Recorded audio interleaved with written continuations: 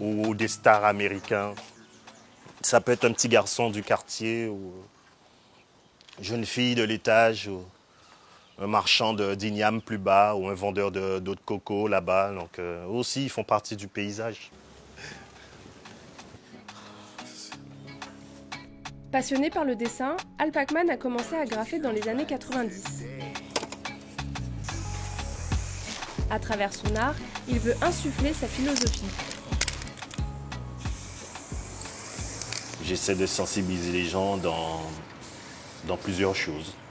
Ça peut être euh, sur l'amour, sur la haine, sur la politique, sur la famille, sur ses pensées personnelles. Dans sa dernière inspiration, le graffeur a immortalisé la période de confinement avec ce portrait d'une jeune fille à l'air fragile. C'était un bon moment pour moi pour, pour, mettre en avant un peu ce regard, ce personnage qui est un peu euh, euh, désolé du moment, mais en même temps impatient pour, pour la suite et pour l'avenir. L'artiste de rue n'hésite pas à repeindre par-dessus ses anciennes œuvres pour les faire évoluer. Mécontent de sa cascade, il la transforme sous le regard amusé des passants. Alors PA C-M-A-N. Magnifique. c'est ça. Magnifique. Le truc à, glace. À poisson. À ah, magnifique. magnifique. Mais ça continue, ah ça, ça continue. Félicitations. C'est éphémère quoi. Donc ça peut tenir 10 ans comme ça peut rester 5 minutes.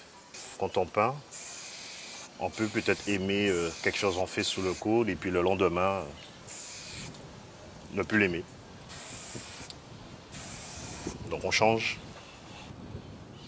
L'enfant des quartiers a bien évolué. Autodidacte, il a trouvé dans le graffiti une forme de sérénité. C'est pour ça que c'est une vraie thérapie. Tenir la respiration à un moment donné, le lâcher à un moment donné, puisque quand je trace en cercle, je trace en apnée.